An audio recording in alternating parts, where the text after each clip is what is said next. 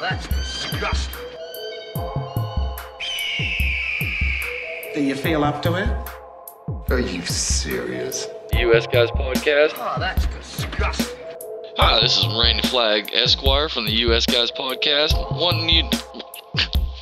Cut. Are you serious? Hang on. Hi, this is Randall Flagg Esquire from the U.S.